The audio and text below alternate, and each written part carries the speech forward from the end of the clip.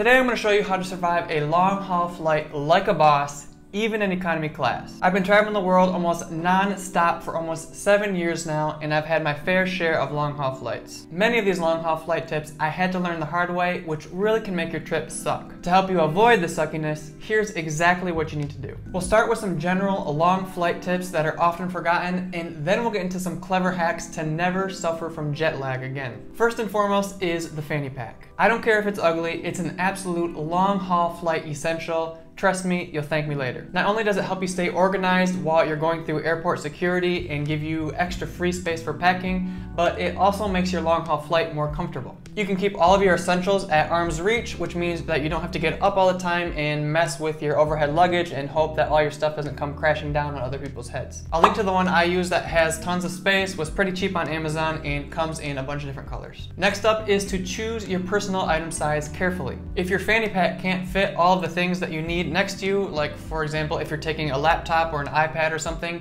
you need to have a personal item that actually fits below the seat in front of you. This is oftentimes easier said than done because many airlines don't list what the dimensions are below their seats. They just say that it has to fit below the seats and so you don't know exactly what size bag you need. That said, you should be pretty safe if your bag measures below 16 by 12 by 6 inches. I recommend using a flexible backpack and not jamming it completely full. That way, if the dimensions happen to be a tiny bit smaller, you can still squeeze it under the seats. Next is to make sure that you get on the plane stat if you plan to put real carry-on luggage up in the overhead bins. Normally, I'm the type of person who just likes to wait and sit and watch everyone else wait in line to board the plane and then be the last one on. But if you're on a long haul flight, you're gonna want your carry-on luggage to be close to you.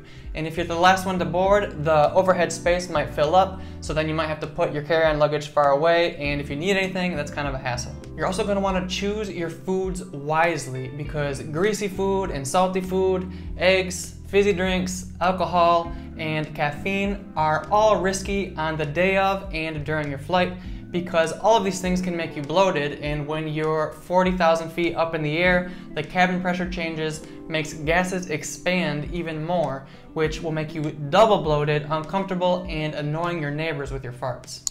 To avoid these issues, make sure that you eat light on the day of the flight, and if you want even extra protection, you can drink a glass of lemon water before boarding. In addition to the gassy problems, caffeine and alcohol are also diuretics, which make you pee more. Not only will it be annoying having to go to the nasty bathroom all the time, but it can also give you a headache and worsen jet lag. Speaking of dehydration, water is your friend on long haul flights. On shorter flights, I generally don't drink as much water just to avoid having to go to the bathroom, but long haul flights are a different ballgame. You're gonna have to go anyway, so might as well avoid those headaches and jet lag symptoms. Headaches are not fun when you're already exhausted and confused from traveling 15 hours and crossing 10 time zones. The low humidity in planes also tends to dehydrate your skin, and so it's also helpful to bring some moisturizer and chapstick. Next, you're gonna wanna pack some good snacks to avoid being at the mercy of the airline food and also to save some money if you have layovers in the airport. I once had a mega flight with one long haul and two medium hauls back to back to back. I thought it'd be clever and frugal and pack an entire loaf of bread and an entire jug of peanut butter.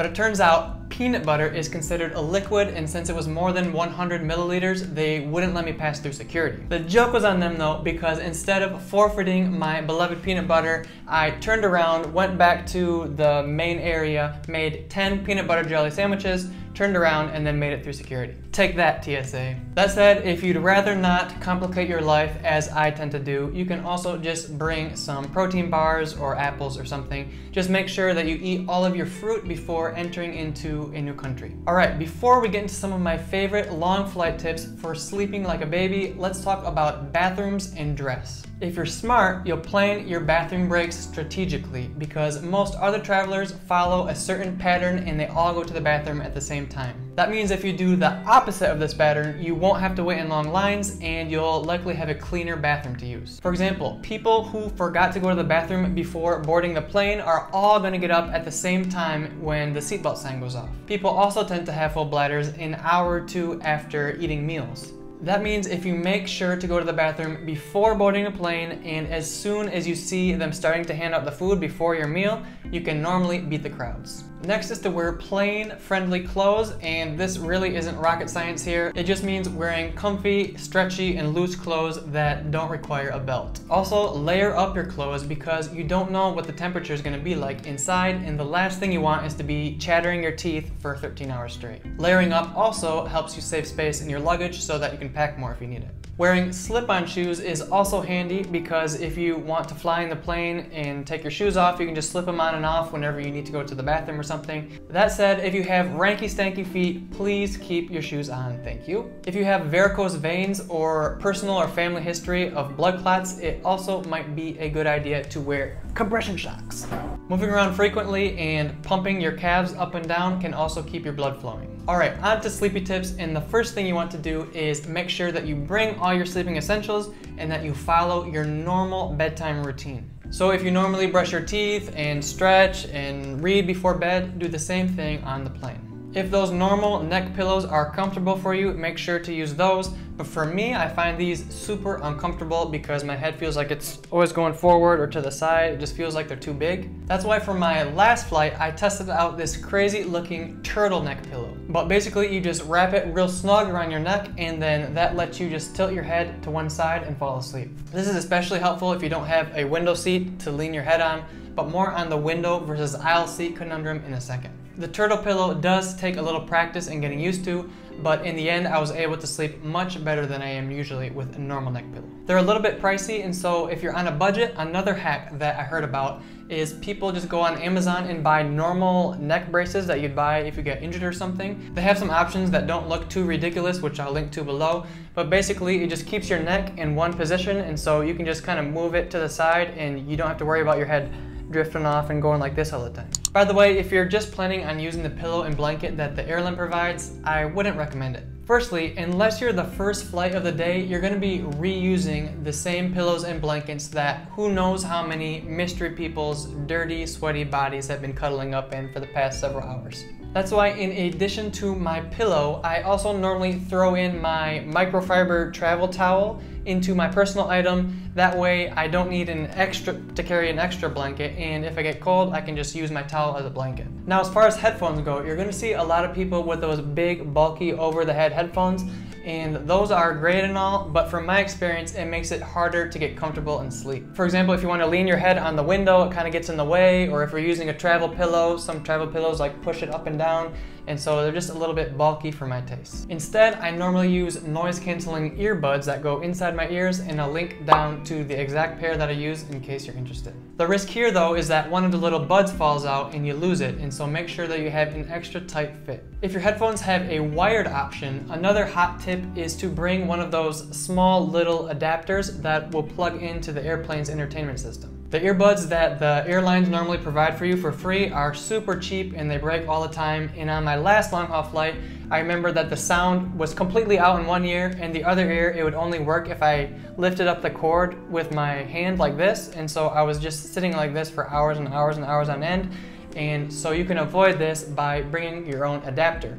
And if you only have Bluetooth headphones without wires, there is another solution I haven't tried yet, and so if you do try it, let me know how it works. But basically, it's just a little Bluetooth device that you plug into the airplane headphone jack, and that allows you to connect to it via Bluetooth. Lastly, to help you sleep, download offline some guided meditations or some sleepy time music that you can put in your headphones. This will drown out any crying babies, and in the case of our last flight, um, parents who let their obnoxious kids play video games on their iPad with the sound cranked all the way up for everyone to hear. Does that make me sound like an old grouch? It's also not a bad idea to pack one of those blackout eye masks and they may seem like overkill, but as you'll see in a minute, they can actually help reduce jet lag. Now, you're probably not going to be sleeping for the entire flight, and so it's also important to bring some of your own entertainment. And on my last flight, I found a free way to stay permanently entertained. But first, most long haul flights are going to have some sort of in flight entertainment you can use, some screens on the back of the seats that are in front of you.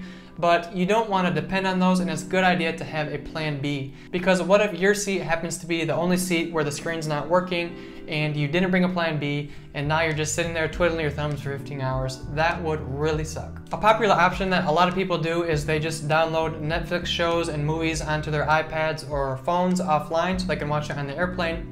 But I'm kind of a YouTube freak and I have like 500 videos saved to my watch later list and so a trick that I discovered is that you can just sign up for a free trial of YouTube Premium right before you leave on your trip and go through and download offline all the videos that you never have time to watch that you want to watch.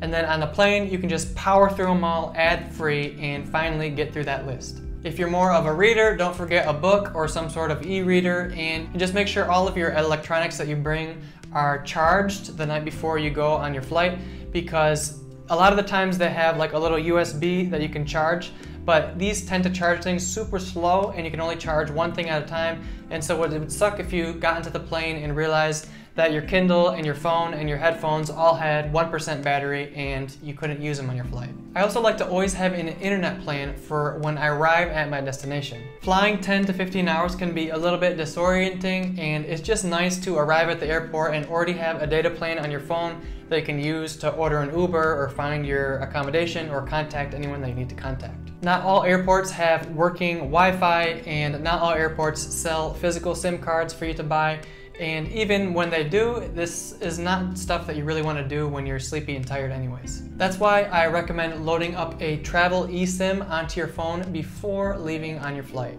If you want to learn how easy it is to instantly have data on your phone wherever you go in the world, plus how to get a discount, watch this video next. I know this video covers a lot, if you're already starting to forget some of the tips, I made an easy checklist that you can download for free down in the description. Next up is to choose your seat carefully. Everyone has their preferences when it comes to window versus aisle seat, but it will definitely affect your comfort level on a long haul flight. Here are some things to consider. When I take short budget flights, I normally like aisle seats because it gives me a little bit extra leg room on the cramped flights, and I probably won't be sleeping anyway.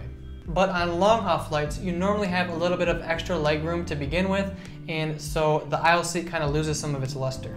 If you're worried about legroom, you can check measurements for your specific flight on seatguru.com. Anyway, on long haul flights, I prefer window seats because it gives you a little extra something to rest your head on, and this is especially important if you didn't bring a pillow. The downside is if you're known to pee a lot, you're gonna have to ask and bug your neighbors all the time to get up. Although I once had someone comment on one of my videos that they actually put on double up adult diapers when they go on long haul flights so they never have to go up and go to the bathroom. But on the flip side, if you choose an aisle seat, you risk sitting next to someone with small bladder syndrome who wakes you up to go to the bathroom every hour. But if you really love aisle seats, another thing you can do is to make sure your aisle seat is on the interior section of the flight. That way, if you have a frequent peer sitting next to you, they'll have two different options to go out and that will pretty much half the times that you get bothered. Keep in mind, if you don't like your seat, you can also ask an airline attendant if you can move to a free open seat once everyone boards the plane. Earlier, I recommended boarding the plane as fast as possible, but one advantage to being the very last person to board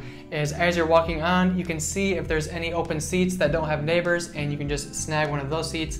I don't think anyone would know the difference. But do it at your own risk. Okay, here's how to say goodbye to jet lag forever. Jet lag happens when your internal clock or your circadian rhythm gets thrown off by crossing a bunch of different time zones. This is especially true when you're traveling east.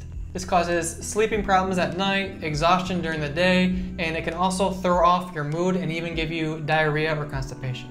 In addition to changing time zones, the changes in cabin pressure in the plane can also dehydrate you, which will worsen all of these symptoms. Fortunately, there are some tips for long flights that are proven to minimize jet lag. First, before your trip, gradually adjust your sleep schedule so that it matches the schedule that you'll be going to bed at your destination. If you're traveling east, that might mean going to bed one hour earlier and waking up one hour earlier every day before your flight.